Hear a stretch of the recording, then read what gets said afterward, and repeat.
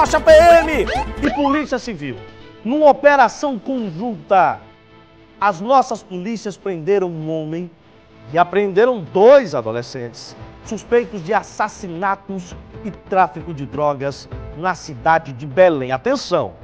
De acordo com as investigações que são realizadas pela Polícia Civil, o homem preso é esse daí, ó. Conhecido como Orelhão. Esse camarada,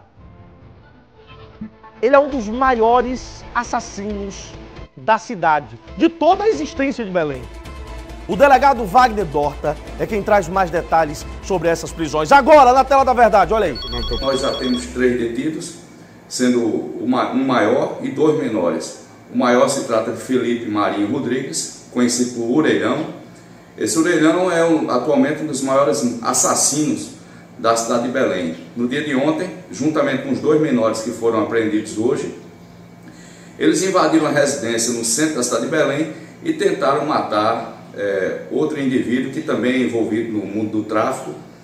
E ontem, ainda ontem, nós conseguimos identificar esses três elementos e em parceria com policiais militares lá da, da cidade de Belém, nós é, iniciamos uma investigação rápida, representamos pela prisão e busca e apreensão desses envolvidos e na manhã de hoje deflagramos a operação, uma operação sucesso e agora esses indivíduos estão sendo encaminhados à central de polícia. Telefone programado para não receber não, chamada. Não, Rafael, não é esse tipo de orelhão não, Rafael, porque pela imagem aí, você tá vendo que Deus abençoou ele com as orelhas, né? Que isso? Um pouco avantajadas. É por isso que o nome dele no mundo do crime é orelhão. Não é esse tipo de orelhão, não. Tu pegasse em bomba. Viu? Esse daí pegou, viu?